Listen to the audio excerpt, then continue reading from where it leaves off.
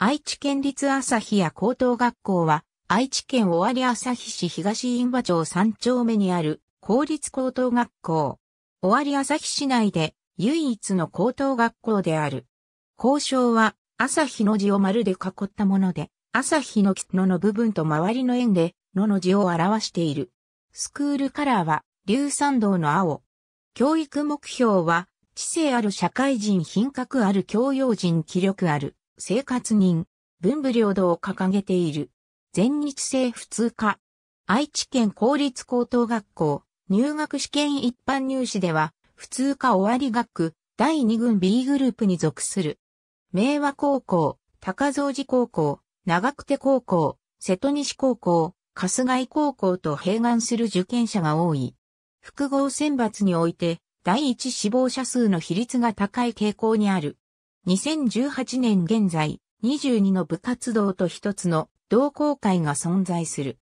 部活動では、ラグビー部が特に有名で、過去には第85回全国高等学校ラグビーフットボール大会、第90回全国高等学校ラグビーフットボール大会に出場した。他にも、水泳部、陸上部などがほぼ毎年東海大会以上の大会に出場している。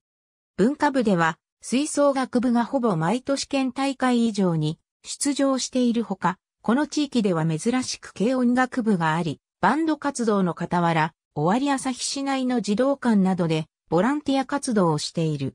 平成24年度より週に31コマ授業を行うようになり、それに伴って月曜日に7限目が増設された。朝日や体操手順生徒会活動では、6名の役員を中心に、球技大会や朝日明る祭などの運営や福祉、実践活動、募金運動なども言っている。ほぼすべてのクラスが独自の T シャツやポロシャツを作り、球技大会、文化祭、合唱祭で、その T シャツなどを着て、競技、発表をすることができる。体育祭では、基本体操服。文化祭では、私服も可能。また、生徒会機関誌のくさびの制作も行っている。